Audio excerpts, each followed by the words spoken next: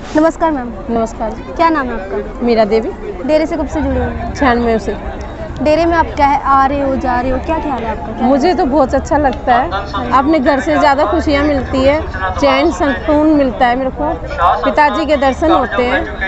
मन खुश होता है। मीडिया जो कह रही है वो सच है मैम? मीडिया तो उसमें ऐसे ही भोंकने वाली है और भोगती रहेगी हमेशा।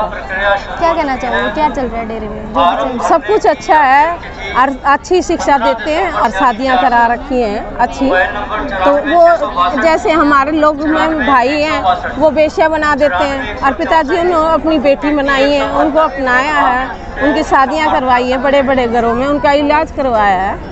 वेश्यावृत्ति के बारे में क्या करना चाहते हैं? वो पिताजी तो मना करते हैं। और लोग मान नहीं रहे हैं तो अपने भुगतेंगे